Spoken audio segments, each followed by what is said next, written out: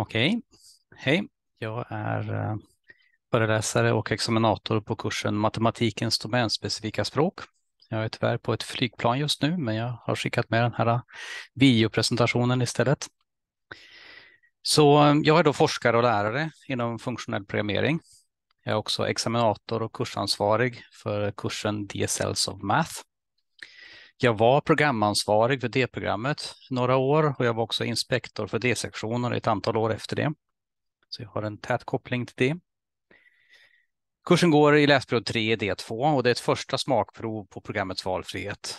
Och vi tror på er förmåga att själva kombinera kurser till en bra helhet och mitt huvudbudskap här att ni ska välja båda kurserna. Den här kursen i läsperiod 3 och sen parallella kursen i läsperiod 1 till 3 några gästföreläsare som jag har kontakt med sedan tidigare. Nicola Botta från Klimateffektsforskningsinstitutet i Potsdam och Cesa Ionesco som, UNESCO som är professor i AI och funktionell programmering i Tyskland. Så kursidén är att presentera klassiska matematiska ämnen från ett datavetenskapligt perspektiv.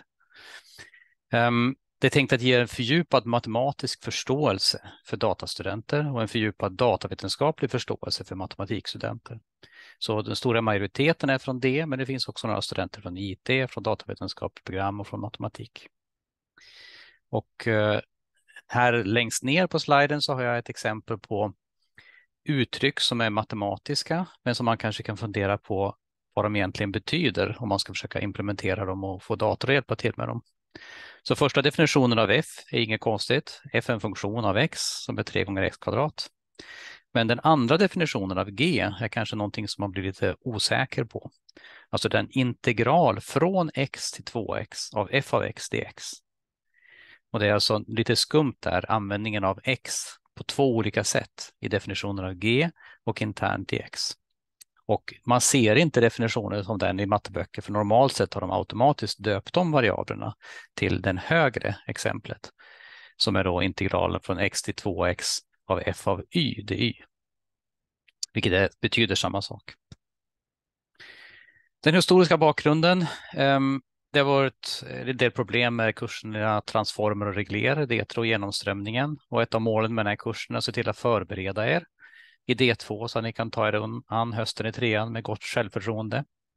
Ett annat eh, rekommendation från D-studenterna är att ha en mellanavancerad FP-kurs. Intro FP finns, avancerad FP finns och det här kan ses som ett naturligt steg på vägen mittemellan. Lite resultatstatistik. Eh, vi har haft ungefär 60 personer, ungefär 70 procent genomströmning. Eh, ett intressant experiment som vi gjorde, ett pedagogiskt experiment som vi gjorde för ett par år sedan var att vi kollade på statistiken och såg hur man klarade transformer och regler i trean om man inte har valt ESL, om man har valt ESL eller respektive om man har fått godkänt på DSL-kursen. Och här kan man se att om man inte valde DSL-kursen hade man 30-40 procent som klarade transformer och regler, medan de som hade valt och fått godkänt på DSL-kursen hade cirka 70-80 procent godkänt på DSL. Så ja, de som tar kursen får bättre resultat. De som klarar den får mycket bättre resultat på hösten i trean. Kursen bygger på aktiva studier, föreläsningar växlat med övningar och grupparbete. Eh, det räcker inte bara att läsa och lyssna och hålla med, men det kanske gäller de flesta ämnen. Och det programmet är en bra bakgrund. Eh, programmering och datavetenskap är ungefär samma sak som matematisk problemlösning och logik, enligt mitt sätt att se saken. Eh, det är en kurs som baserar sig på att kunna plocka isär och reda ut begrepp och implementerar i datan som källkod, funktioner och typer. Och då kan man få hjälp med matematiken från kompilatorn som är direkt återkoppling när något inte stämmer.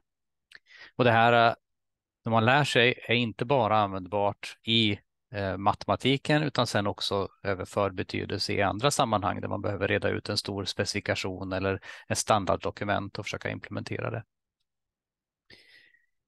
Så det är väldigt nära koppling mellan den här kursen och funktionell programmering och typat funktionell programmering. Och det, huvudidén där är ju att genom typerna kunna eh, reda ut och få datorn att hjälpa till med att säga vad som är vettigt och vad som inte är vettigt. Och här är några exempelfunktioner. Kvadrat, twice, uppe till fyra och så vidare. Och eh, de kan definieras i Haskell utan att ge typ, men om man lägger till typdefinitionen så får man lite mer information. Så kvadratfunktionen, den är för vilken numerisk typ som helst så kan man ta ett värde av den typen och ge ut ett värde av samma typ.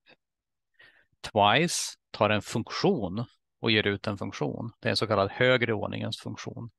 Så om man använder den till exempel på kvadrat så kommer man att kvadrera och sen kvadrera resultatet igen. Och uppe till fyra är då att kvadrera två gånger. Man kan testa det och applicera det på tre.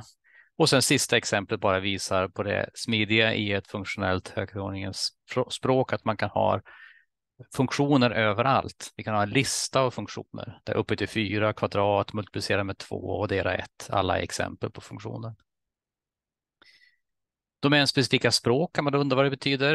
Eh, allmänt sett så kan det vara eh, ett litet domän, ett tillämpningsdomän som till exempel datum som väldigt ofta implementeras i datorer. Där kan syntaxen vara till exempel 2011 11 11 eller tredje onsdagen i oktober eller motsvarande. Och eh, semantiken kanske är en datatyp för datum eller om det nu handlar om tredje onsdagen i oktober, en funktion från dagens datum till det datum som det gäller i det här fallet. För tredje onsdagen i oktober beror på vilket år det är. Nästa lördag beror på mer än så, vilken dag det är. Ehm, Excel-formler, formel i ett kalkylark, en annan exempel där man har syntax som skriver summan av ett antal celler eller plocka ut delsträngar från en annan cell.